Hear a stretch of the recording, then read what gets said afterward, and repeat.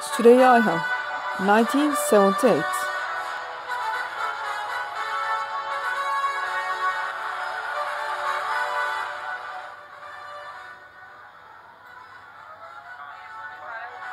Süreyya Ayhan er was born on September 6, 1978 in Çankırı. Athletics started in Çankırı Athletics Training Center in 1992 and Süreyya Ayhan er played in MTA and Fenerbahçe clubs.